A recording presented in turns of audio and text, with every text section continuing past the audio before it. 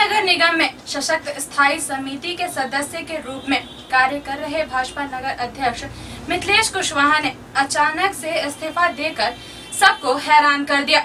वहीं आरा नगर निगम की महापौर को त्याग पत्र सौंपा।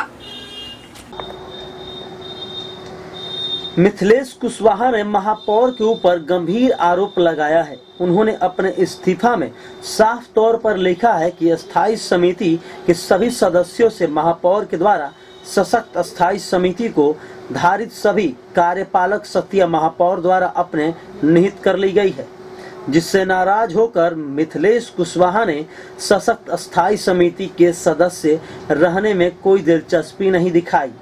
आगे उन्होंने नाम सार्वजनिक नहीं करते हुए आरा नगर निगम के एक विशेष वार्ड में विकास के कार्य को अन्य सभी वार्ड की तुलना में विशेष बताया है, जबकि अन्य के साथ सौतेला जैसा व्यवहार किया गया है।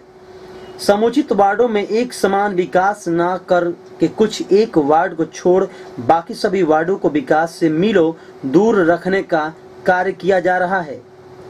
उन्होंने कहा कि अगर नगर निगम में अन्य वार्ड पार्षद के बैठने के लिए कक्ष तक नहीं है, सशक्त स्थायी समिति के सदस्य से ज़्यादा नगर निगम के संवेदकों को विशेष रूप से ध्यान दिया जाता है, जो कि कहीं से भी न्याय संगत नहीं है।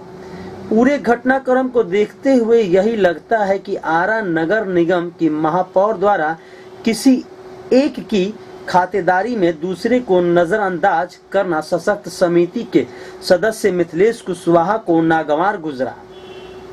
अब इस मामले में देखना दिलचस्प होगा कि आरा नगर निगम के अंत युद्ध में महापौर खेमे में से कौन ब्रह्मास्त्र का प्रयोग किया जा रहा है? क्योंकि यह मामला उतना भी उलझा हुआ नहीं है जितना कि महज एक पद त्याग पत्र पर समझा जा सके।